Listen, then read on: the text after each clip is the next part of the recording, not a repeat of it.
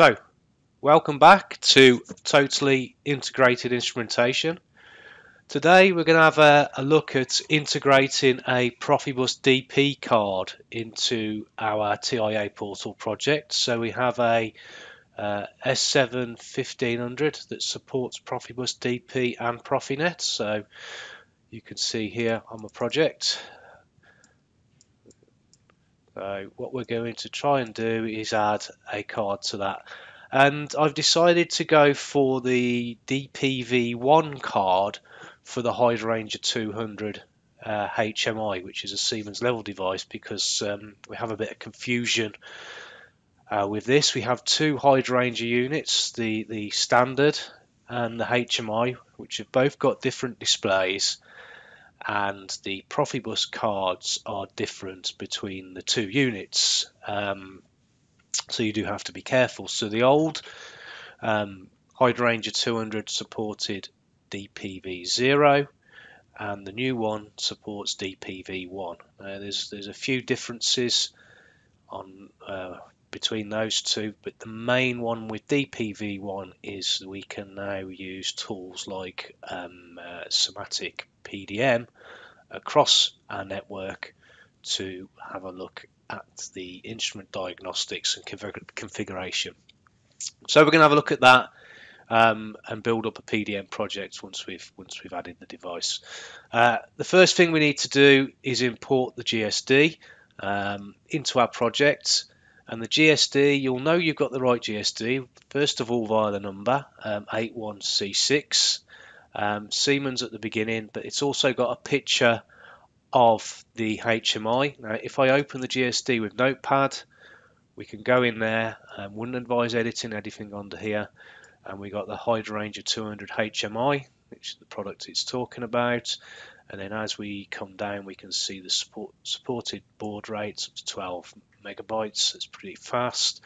And then you come down here, and this is the um, acyclic information. So this one, um, uh, C2, I think is what PDM uses.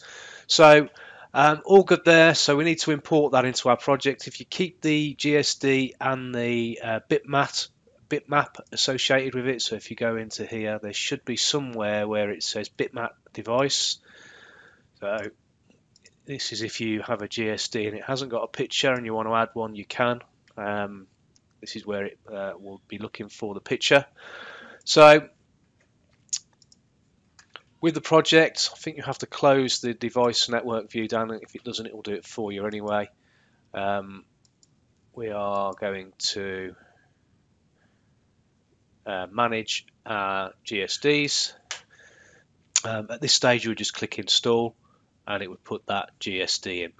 So if we go back to add it to our project, um, we need to we need to find it, and I believe it's under. There we go. Sorry, it's under other field devices, and there should be general, and you can see I have two installed here. So, it's the Siemens AG and you'll see the HydroRanger 200 there. So if we drag that into our project, um, it's not assigned, so we need to link it to the master. Okay, and then of course this device needs an address. So this is always the tricky thing to, to, to see on the dip switches. So if you have a look here on the on the right hand side, you can see um, that there's like a, a cut off on the dial and that's the arrow where it's pointing to the number. So in this case, we are 77. Uh, if I double click this, you'll see my slot index table, which has already been populated. So there's not much to do here. Um, and you can see my input and output um, words uh, for the HydroRanger 200 there. So it is uh, capable of doing two channels plus the third, third channel being a difference or average. Each channel I'll have my reading, um, my status, status byte, which is a bit weird because it's got it as a word, okay, um, and the signal strength. So if I just compile the hardware and then download.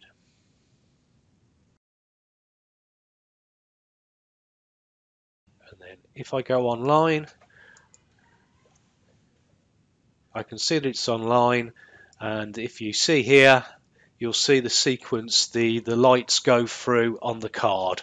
So the red light is flashing because it's detecting the baud rate. So it auto detects the baud rate as long as it's it's within the baud rate limits set within the GSD um, and then it will start looking for the connection to the PLC so you know ensuring it's got the correct GSD so that's the first stage. Um, it's imported into the project. It's it's relatively simple because the slot index table has all been set out for you.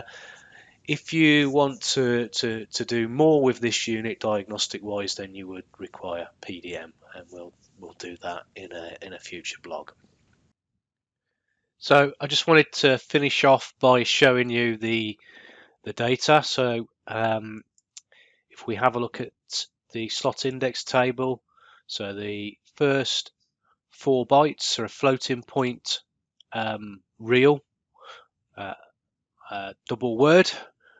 So there's no scaling and you can see there there's my value coming back. So this is the tag that I've set up.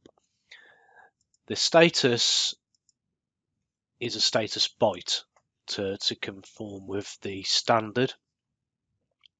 But to keep the memory map the same uh, for Profibus DP, Modbus TCP, and Profinet, um, we've had, we've we've kept the format in words. So it's a, it's a little bit strange here. Um, we've got a word, but we're only interested in the second portion of that, which is uh, the byte 75. So you can see here 74 to 75, but the status byte is held in 75. So you can see the hex 80, uh, the device is healthy. And then the last one is the echo strength. It's in hex here, um, uh, but that again, it's uh, that's just a, a, a word, and then it repeats.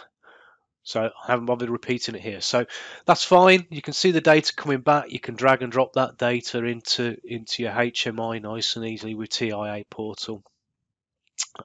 Where you may have issues with this format here with regarding the status byte is PCS7 because normally what you do is you will link your CFC to the process value and then uh, generate the mod the module drivers, I think that's right, um, and it will automatically attach to the status byte. But because the status byte is hidden in a word, um, we may have to uh, manually connect the status byte to this to the standard uh, analog in block for um, PCS7. But other than that, you can see here, nice and easy in TIA portal, the slot index table is all ready set up for you. So all you have to do really is make the connection, install the GSD, of course, make the connection and uh, set the address and do a compile and a download and you've got your profile one uh, card working. So the next stage um, is to see what we can do with PDM and we'll cover that on a future video. But for now, thanks for listening and I hope it was useful.